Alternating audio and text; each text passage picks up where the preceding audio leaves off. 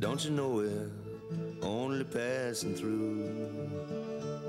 The land is old, but this year's crop is new. The land lives on when our time is done. Let's leave it sweetly to the young. Leave it sweetly to the young.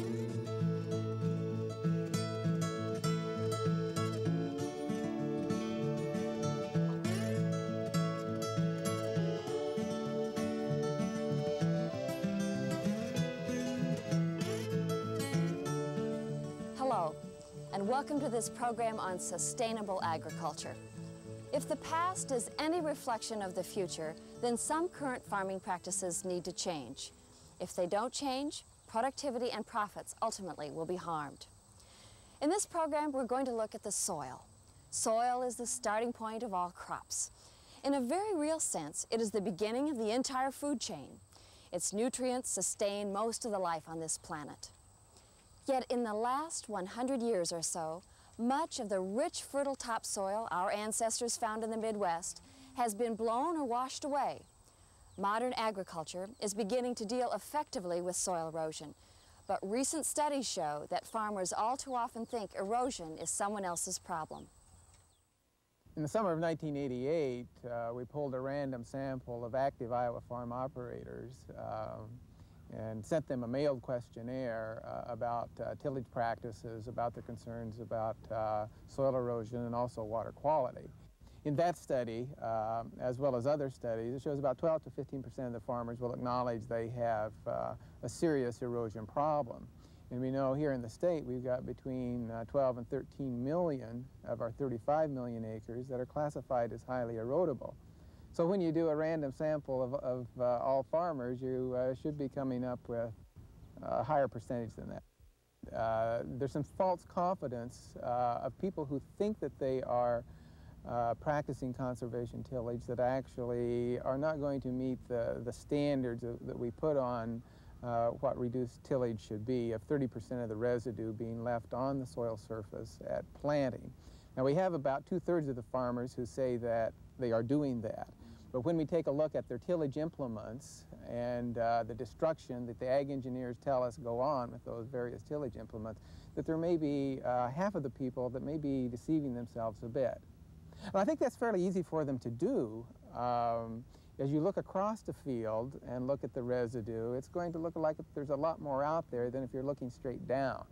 So I think it may behoove farmers to go out and and measure the residue. To, uh, take a tape and do some, some actual measurements. It's, it's fairly easy to do.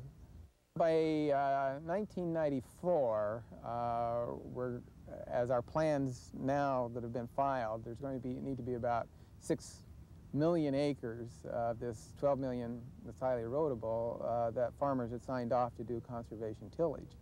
And uh, if they don't meet that, according to what the current standards would be, then they would uh, be denied benefits in uh, other parts of the farm program, such as deficiency payments, uh, crop insurance, those kinds of things. Uh, as we look at some of those plans, there's going to be uh, quite a bit of no-till that is put in those plans, and on the, the more highly erodible land, that's what farmers have signed up to do. And uh, the study that we have done would show that there's a pretty high rejection rate of no-till here, here in Iowa at least. Uh, for about uh, every three farmers that try no-till, there may be as many as two that reject it. Now, uh, some of that rejection is, uh, and the highest rejection is in uh, areas that aren't as erodible as other areas. And so farmers that have more erodible land and need to make it work are making it work at a higher ratio than that. But there's still uh, I think, a, a, perception problem as they get into trying no-till, that it, it, takes a real change uh, from where you had a nicely tilled seed bed to uh, put the investment that you do in um, your seeds and your, your herbicides, uh, wondering what may happen uh, when you plant it into uh, corn stubble or when you use a herbicide burn down and, and haven't had any experience with it. Uh, as some of the farmers have told me, it ain't pretty when you do it that way, and, they feel that there's a real risk there. The benefits that accrue through no-till uh, are learning the management on, on the different soils, uh, and then also as the no-till is practiced, some of the uh, absorption rate of, in, in, rainfall, and, and that uh, accrues over a, period of three to four years. So I think our agronomists are, are telling us that uh, you, know, you need to really stick with it uh, four or five years, uh, and that's a, a, pretty long time when people have some pretty narrow cost profit margins and those kinds of things. Although no-till requires a higher degree of management than other forms of tillage, it is the most effective tillage system for reducing erosion. Farmers with highly erodible land who want to maintain their corn acreage may find that no-till is the only viable alternative. A Michigan report indicated that no-till lowered production costs, resulting in a net profit increase of $7 per acre. One of the things that may be happening uh, as we uh, deal with the conservation compliance provisions of the Food Security Act is that those uh, farmers that don't have highly erodible land may have uh, taken a little more security and confidence in what they're doing than perhaps we should. Uh, our studies show that uh, there is a relationship between the erosion vulnerability and the amount of tillage. And in our, our flat soils that aren't as erodible, uh, there has been, uh, there's more tillage going on there. And uh, in, in years like this, as well as in other years, those lands are eroding, uh, even though they aren't classified as, as highly erodible. And where there is more tillage going on than there needs to be for profit reasons or environmental reasons, we should be looking to cut that back too. We have found some change, but not a lot of change in tillage practices during the mid-80s. Now, as we move into uh, the 90s, there are a number of people who are starting to think about some of these tillage changes. And uh, they're not all positive. Uh, I think the farmers are realizing that there's going to be more management uh, going into it, more time consuming. Uh, in a study of farmers in the Red Rock Reservoir, we found about a fourth of them felt maybe their profits would go down somewhat. So uh, they're starting to think about that more than, than they did, and not all of the changes are ne necessarily positive. As anyone in agriculture knows, legislation in 1985 has had a major impact on farming, an impact that will be felt well into the future. The Food Security Act of 1985 was a broad-ranging act that um, address the, the need of farmers to take care of uh, natural resources. And uh, essentially what it said is that um, a farmer, uh, if they're growing commodity crops, must have a compliance plan uh, developed, uh, written and approved on their land by January 1 of 1990. And then during the years 1990 till December 31st of 94, that plan must be applied.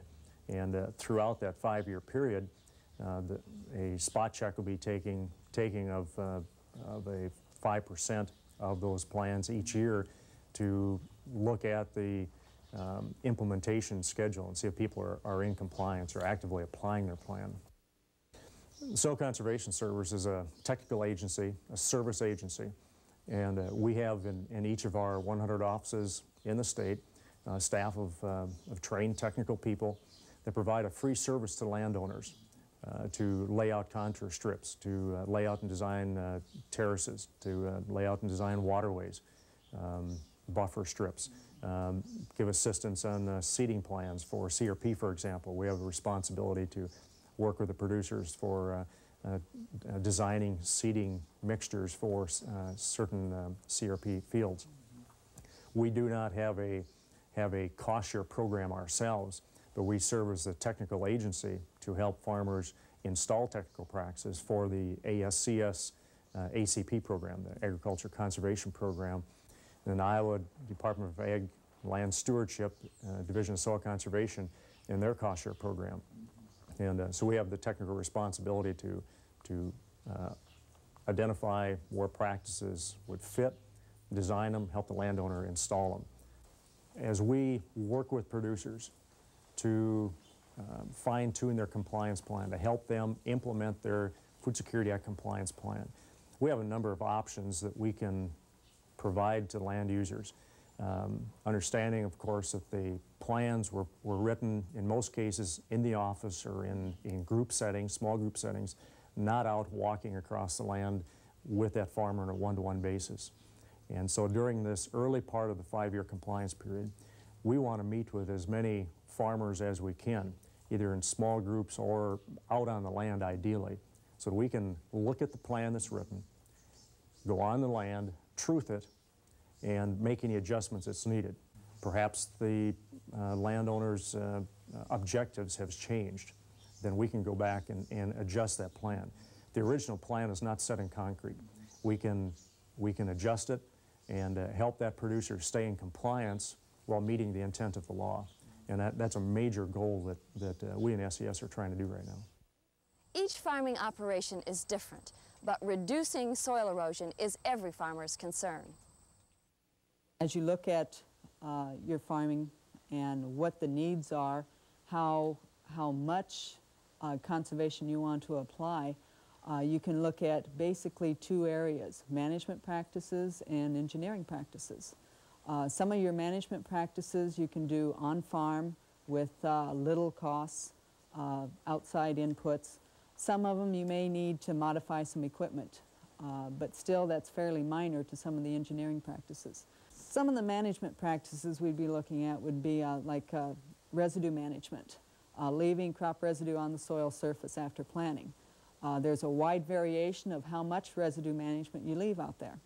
Uh, you could be looking at the extreme of a no-till system, uh, which is leaving virtually all of the residue out there from the past year, uh, which is about uh, you know 80 to 90 percent ground cover, to uh, leaving about 30 percent ground cover out there.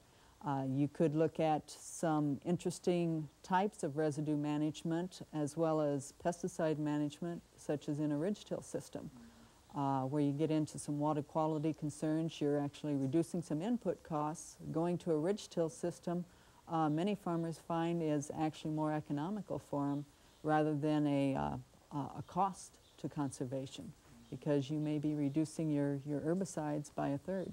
More of the management practices would be uh, uh, some of your strip till. Strip till basically is growing your crops in a rotation uh, down the hillside. You may be growing a strip of uh, row crop uh, adjacent to a, a strip of uh, a small grain or a strip of alfalfa or, or a forage crop in there and alternating that down the slope. So you're breaking the, the um, the residue, actually, residue levels down the slope. Each field is unique, uh, so you have to look at different options, different practices for each field. Uh, as you, and there are a lot of options out there. And as you look at your farm, you don't need to choose one system for the entire farm as well. You may choose a more intensive row crop for one field, which means your options out there are going to be a little bit different than for another field where you may choose to change your rotation and introduce uh, some forage crops. And there is also a, a, benefit in looking at that as well. Uh, some of the more severely eroded sites, uh, some more severely eroded hillsides, it isn't as economical to put the expense in that you would uh, for a intensive row crop area and in some of those areas, you may actually be beneficial to look at some permanent seedings, uh, looking at a CRP program, Conservation Reserve Program, and so forth. Historically in this area, um, narrow strip cropping has been very popular. Um, there is some terracing that goes on in this region. There's conservation tillage, reduced tillage. We've been working in some of those areas all along. But we're also looking at some of the other issues related to reducing chemical inputs, and that's related to keeping a healthy biological soil.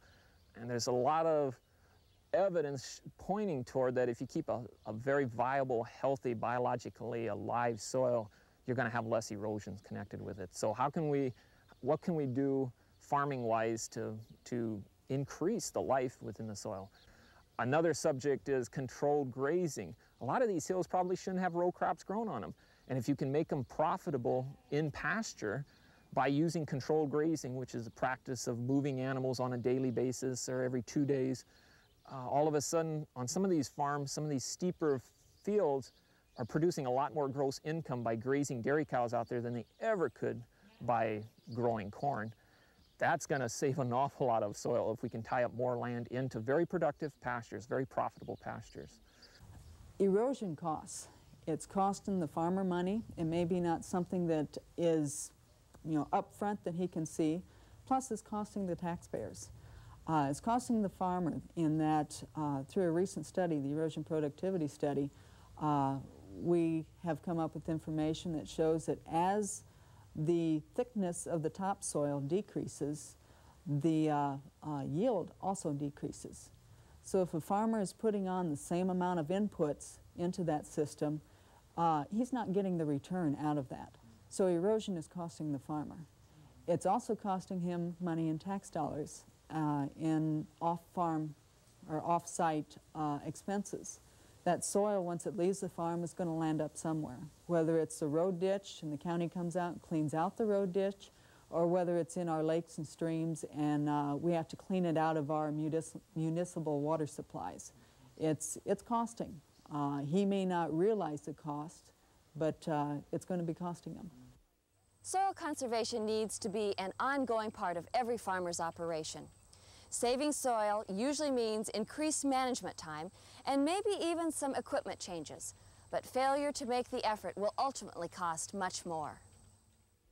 Farmers as well as scientists uh, realize that uh, soil erosion has an impact on soil productivity and for that reason uh, Soil Conservation Service and Iowa State University began a, uh, a productivity, soil productivity study in 1983, a project that ran six years that looked at uh, different kinds of soils uh, on different slopes, uh, different thicknesses of topsoils. I think the unique thing about this project was that it collected data on sloping soils and it looked at the yields uh, from those soils and then supporting data was collected on soil properties to bring back that information so that some different principles could be uh, described or be uh, concluded on why different soils have different productivity levels, and that's in fact what this study has provided us with. The primary objective of the study was to look at the effects of accelerated erosion on productivity using corn as an indicator crop. In the 44 counties, in the results that we're going to be talking about, we had about 900 observations in about 400 different soil types in the state. During the course of the growing season, detailed records were kept.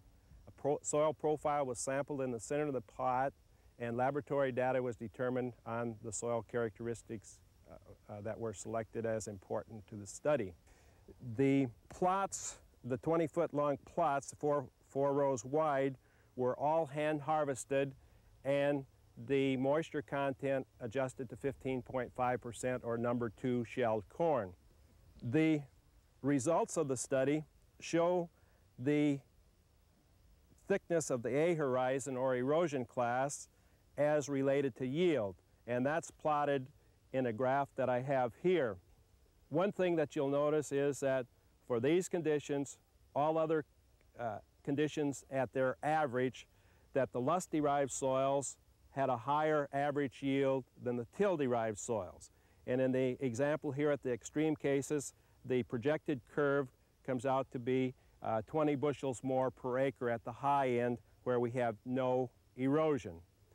As the erosion increases or as the thickness of the A horizon decreases, then you see the shape of the curve is going down. So we attribute that to the fact that as the erosion increases or the thickness of the topsoil decreases, we're losing productivity. And overall, in the loess-derived soils, between the high end of the curve and the low end of the curve, we lose about 16 bushels per acre on the average that we would attribute to the effect of accelerated erosion. On the till-derived soils, based on the data, the projected high end of the curve would be 138 bushels per acre, and with increasing erosion down to the maximum amount recorded in the study, the overall decrease in yield is about 32 bushels per acre. So that means that our till soils are more severely affected by erosion than the loess-derived soils. Farming is an ever-changing business. Farmers of the future will have many more tools to aid them in their work. As we go into the 1990s, uh, additional tools are, will be available for farmers to use to refine their management practices. Let's take a historical perspective. The 30s and 40s was the introduction of hybrid seed corn. The 40s, 50s, and 60s was a major expansion of uh, commercial fertilizers on farms. The 60s and the early part of the 70s was the widespread adoption of uh, herbicides. Uh, this, also in the 70s, we saw a major change to the kinds of machinery, uh, tools, equipment that were available to farmers uh, to allow them to uh, farm uh, different sizes of acreages. The 80s really we probably think is the computer age, and the 90s and beyond will be the age of the sensors. And what we envision, and they're already, the technology is already here, but what we envision being adapted over the next 10 to 15 years are sensors on equipment that will allow the farmer to, to move across the field and to actually sense different properties of the soil, different uh, slopes, uh, and allow then the adjustments to be made within the field uh, in terms of the inputs that the farmer is making. So a great potential for refined management practices in the next 10 to 15 years through sensors. Keeping our fertile topsoil on the slopes and in the fields is not just a nice idea whose time has come. It is nothing less than the future of profitable agriculture today and in the future. Unfortunately, as we heard at the beginning of the show, many farmers think that it's someone else's problem. It isn't. It's everyone's problem. Well, the, the time has come when, when we as in agriculture in America can't take for granted the, the soil resource, soil and water resource.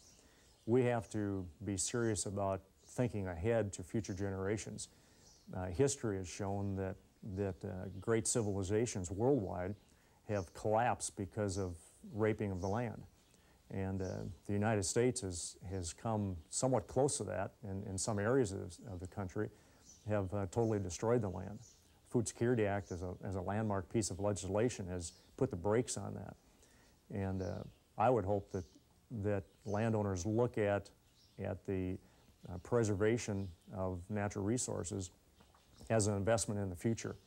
Um, I want to make sure that my kids have, have food to eat and clothes to wear at a decent price. And, and that can be done. Uh, there are some that, that feel that um, by totally preserving the soil and doing, doing some uh, conservation practices, it's going to it's to be almost uh, prohibitive. It's going to chase people off the farm. Uh, we don't want that to happen. I don't think that should happen. As I, as I said earlier, there are a number of alternatives that producers have to keep the soil in place.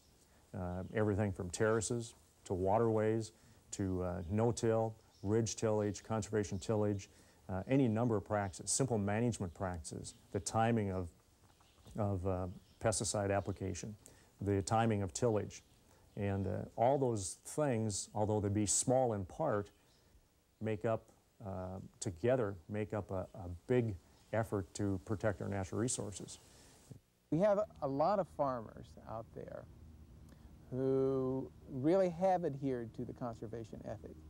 We have farmers who are doing well, have not reduced yields or profits as they have gone to these tillage methods uh, and they're starting to say, hey, it's time for the other folks to come along here.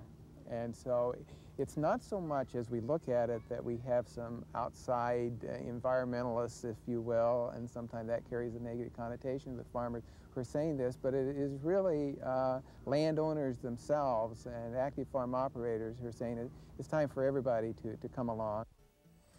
Farmers' profits are all too often at the mercy of prices someone else dictates. Keeping agriculture profitable requires selling good crops at fair prices.